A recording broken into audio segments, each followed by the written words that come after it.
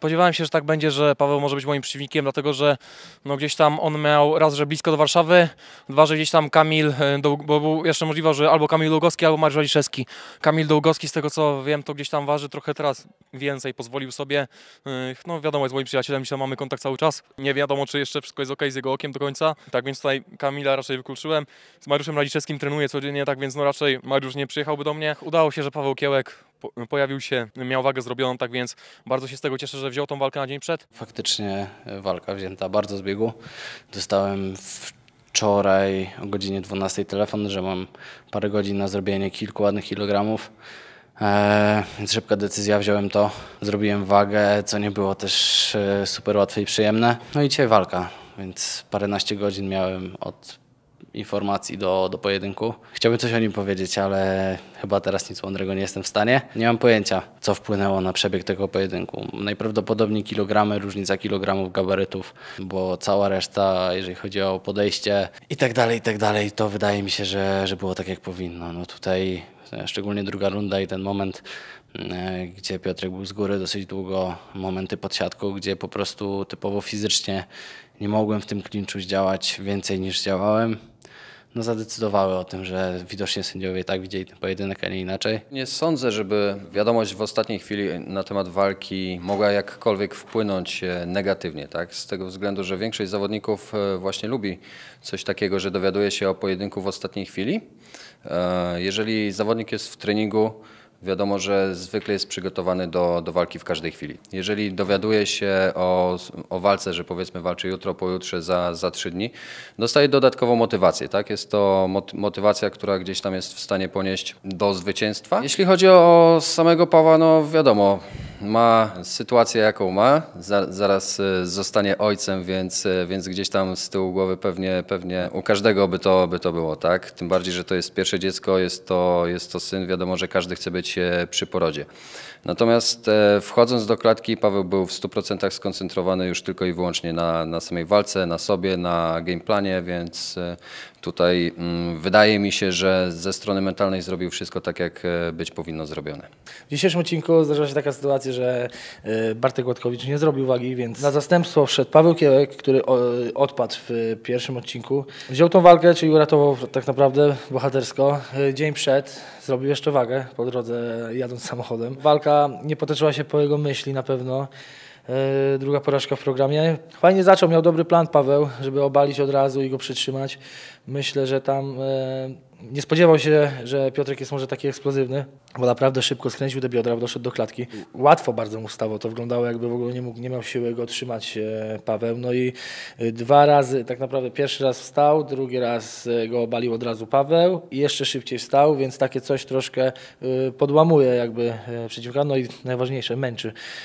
Piotr potem fajnie to wyczuł i zaczął atakować na korpus kolanami, boksował fajnie. Myślę, że go troszkę przełamał i w tej drugiej rundzie no to już było widać, że przeleżał e, e, praktycznie chyba tak, całą rundę praktycznie przeleżał e, na Pawłę. No i, no i co, no druga porażka Pawła. Myślę, że właśnie nawet przed chwilą go spotkałem, powiedziałem, czy niepotrzebnie może wziął tą walkę, bo trzy tygodnie temu jednak był mocno naruszony, bo te ciosy w Marcina Krakowiaka trochę ważyły i teraz pełen dystans, no, no nic, no taki jest ten sport. Myślałem, że będzie chciał się bić trochę więcej w stójce, natomiast zaskoczył mnie, bo od razu poszedł po nogi, ale gdzieś tam czułem nad nim sił, przewagę siłową, fizyczną, tak więc w tym chciał pójść do parteru, poszliśmy do parteru i tam okazałem się też lepszy. No, W drugiej rundzie Paweł gdzieś tam trafił mnie prawym, jakoś może tego bardzo nie odczułem, ale gdzieś tam troszkę się nogi zachwiały, no i wiedziałem, że będzie chciał później iść do parteru, poszedł klincz, w klinczu moja przewaga fizyczna wzięła górę i znaleźliśmy się w parterze, gdzie kontrolowałem walkę. Ten program to fantastyczna przygoda, mimo że gdzieś tam na odbiegałem, zgubiłem się w lesie, nie udało mi się zdrowić dobrej potrawy dla Blanki, to myślę, że nadrobiłem tą walką tutaj dużo i y, w następnej walce pokażę się z jeszcze lepszej strony. Tyle mam do powiedzenia. Aspektem, który znacząco w tych dwóch walkach wpłynął na przebieg e, tych pojedynków, no to były różnice gabarytów e, między mną a moimi przeciwnikami. Ja walcząc w kategorii 70 kg, to ja miałem zawsze przewagę tych warunków fizycznych, natomiast w 77 chyba nigdy jeszcze nie miałem przewagi warunków fizycznych i to jeden z moich dużych atutów jak się okazuje. Chyba jeden z kluczowych, więc najprawdopodobniej powrót do kategorii 70 kg. Nie mówię, że teraz, za miesiąc, za trzy, tylko na razie się skupiam na, na rodzinie, będzie jakaś opcja powrotu do, do MMA, to wtedy się zastanowię jaka kategoria wagowa, ale zdecydowanie niższa niż ta, w której obecnie walczę. No nie przebrnął przez swojego rywala, no tak wyszło, no co, co, co, cóż mogę powiedzieć, taki jest ten sport. E, dostaliśmy w sumie taką drugą szansę, myślałem, że, że ją wykorzystamy, że damy radę. No wczoraj e, Paweł się o tym dowiedział, no dowiedzieliśmy się o tym, no co, zrobił te 5 kg, ale myślę, że to nie był, to nie, to nie, to, to, to nie jest jakby powód tego, że dzisiaj tak wyszło. Przeciwnik lepszy i tyle, no. E, pierwsze dwa rzuty dobre w wykonaniu Pawła, no ale brak kontroli, także tego rzutu pewnie, tych rzutów pewnie sędziowie nie zaliczyli. No i stąd potem e, kontrująca praca, jeśli chodzi e, o przeciwnika naszego i praktycznie kontrola do samego końca, więc, więc dwie rundy przegrane, w drugiej już też półgarda nic tam z tego Paweł nie zrobił. No co, no zastanowić się trzeba, wyciągniemy wnioski. Nie wiem, co się stało. No, no tak jak powiedziałem, no, będziemy musieli, znaczy musimy to przerobić, bo, bo na dzień dzisiejszy nie może tak być. No, on te walki przegrywa. E, to, to nie są żarty, także no, to, to, że to są rundy trzyminutowe, ale to nie, to nie o to chodzi. Na treningu jest tu zupełnie inny chłopak. To samo jakbyśmy postawili dwóch zawodników. I ja tego nie tłumaczę, nie mówię po to, że, żeby tu tam e, wybielać i tak dalej. No nie, przegraliśmy. Gratuluję przeciwnikowi. Fajna bardzo inicjatywa, inicjatywa fajny program. My cóż, pakujemy się na chatę i tyle i trzeba zapieprzać. No. Miał bardzo duży e, bagaż emocjonalny wchodząc do tej walki. Przegrał już jedną walkę w programie, dostał drugą szansę. E, wiadomo, że niby człowiek nie presja na nikogo nie działa, ale tak naprawdę ta presja jest. E, poza tym dziewczyna za 5 dni termin porodu, na pewnego głowa była gdzie indziej. E, wyszedł do walki z Piotrem Walaskim, który jest mega atletyczny, utalentowany, młody, silny, co było widać w walce. Paweł Kiełek zaczął bardzo e, dobrze obaleniem. E, potem Piotrek wstał i było widać, że po prostu jakby y, pojawiła się rysa na gameplanie Pawła i na jego psychice. Znaczył, że kurczę, raz wstał, drugi raz wstał, no i zaczął y, trochę męczyć, y, popować sobie ręce. W drugiej rundzie y, wyszedł bardzo dobrze kombinacjami bokserskimi, trafił Piotrka, ale no nie pamiętam, czy to było obalenie, czy jakiś tam z kotła Piotrek wylądował na górze, rozbijał go, kontrolował większość y, rundy i pewnie dowiózł zwycięstwo. Tak jak ostatnio rozmawialiśmy, e, mówiłem o tym, że będzie szansa, ale sam to nie wierzyłem. Ja nie byłem w jakoś super treningu, trenowałem sobie tak po prostu, e, nawet nie codziennie. Prowadziłem normalne życie takie po swojemu, skupiając się na pracy i, i na żonie. Jeżeli chodzi o podejście takie w głowie, to zluzowałem i, e, i gdzieś tam już temat programu się zamknął w mojej głowie. No i pojawiła się okazja, bo, bo zadzwonili właściciele. No i zadecydowałem, że, że jednak wrócę. No i czy to była dobra decyzja? Nie wiem. Na czym Paweł powinien się teraz skupić, to wrócić do żony, jechać do szpitala z nią, odebrać poród, pomóc żonie przy, przy tym porodzie, cieszyć się dzieckiem, na tym powinien się skupić e, z tego względu, że wiadomo, że pierwsze dni, mie, miesiące, tygodnie, miesiące e, w życiu dziecka są najważniejsze. Tak jak mówiłem wcześniej, jest to pierwsze dziecko Pawła, więc na tym powinien się w tym, w tym momencie skupić.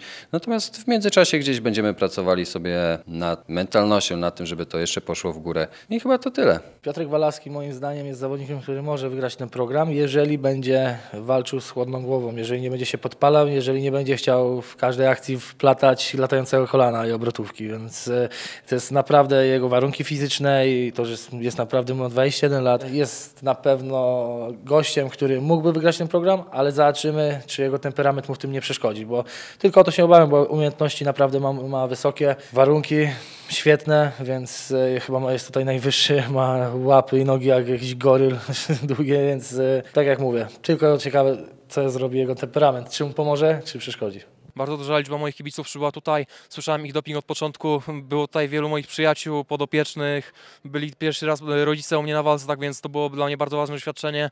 Gdzieś tam moi rodzice, gdzieś no, nie nadawałem z nimi na jednych falach. Wydaje mi się, że teraz jak zobaczyli, jak to wszystko wygląda, mieli tutaj okazję zobaczyć, jak to wygląda rozgrzewka i tak dalej. Myślę, że się przekonali. Pierwszy raz usłyszałem w życiu, że są ze mnie dumni, tak więc to cieszy podwójnie. Byli na walce, gdzieś tam widziałem mamy łzy wzruszenia. Mam nadzieję, że tata się już przekonał w końcu do tych walk, bo no, gdzieś tam e, nie wie, myśl, wydaje mi się, że nie wierzył we mnie nigdy i mam nadzieję, że w końcu teraz we mnie uwierzył. Moja przygoda ze sportowami walki nie pisała rodzicom. Dlaczego? Dlatego, że już to mówiłem w programie, moi rodzice y, idą trochę innym schematem. Y, U nich jest dobrze, dobrze napisana matura, skończone studia, potem praca w korporacjach i tak dalej, jakieś tam szczeble takiej kariery, praca w systemie 8-12 godzin dziennie, wracanie i y, najlepiej chęć powieszenia się, no bo tak to wygląda moim zdaniem patrząc od boku. Ja takiego życia nigdy nie chciałem. Ja chciałem bawić się tym życiem, chciałem robić to, co lubię. Uwielbiam MMA, wręcz kocham MMA i zawsze chciałem żyć z tego i gdzieś tam już od jakiegoś czasu prowadzę treningi grupowe, prowadzę treningi indywidualne, więc gdzieś tam zarabiam na tym mimo wszystko i MMA wypełnia całe moje dni. Y, Że tak powiem, kocham swoje życie i idę na sam szczyt.